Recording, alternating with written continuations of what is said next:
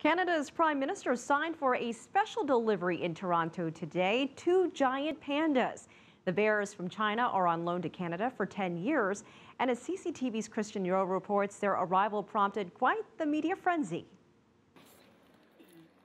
There's been pandemonium on both sides of the Pacific this week as China sent a very special delegation to Canada. Meet Ah Shun and Da Mao, two giant panda bears. They set off on their 7,000 mile journey from Chengdu on Sunday aboard the Panda Express. Their welcome to Toronto was suited to superstars.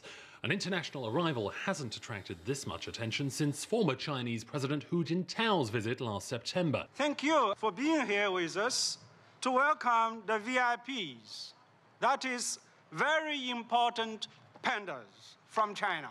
The pair will take up residency in Canada for 10 years, spending five years in Toronto and five in Calgary. The attention these two bears have attracted today is indicative of how significant their visit is.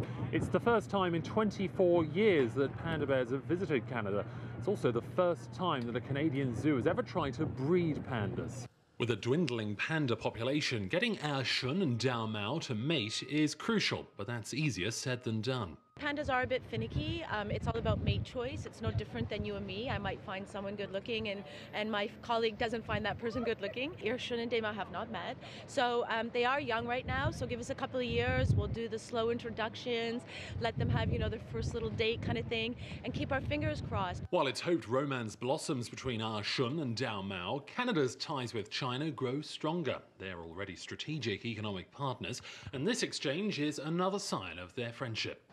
Over the coming years, these pandas will help us learn more about one another while serving as a reminder of our deepening relationship, a relationship based on mutual respect and growing collaboration. So through you, Ambassador, thank you to the government of China.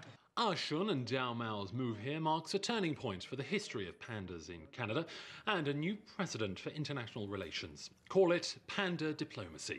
Kristiaan Yeo, CCTV, Toronto.